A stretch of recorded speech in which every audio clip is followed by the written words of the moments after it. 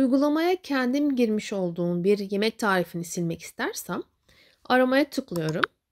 Çıkan menülerden sola doğru kaydırarak yemek kitabını tıklayacağım. Sonra da silmek istediğim yemeği seçiyorum. Pişir seçeneğine tıklarsam açılan sayfada aşağı doğru kaydırdığımız zaman tarif bilgilerini düzenle dediği kısmı tıklıyorum. Buradan da en üstte sağ tarafta silme işareti var. Oraya tıklarsam silmek istediğimden emin misiniz diye tekrar teyit etme ihtiyacı hissediyor. Buraya da evet silmek istiyorum dersem artık o tarif orada değil.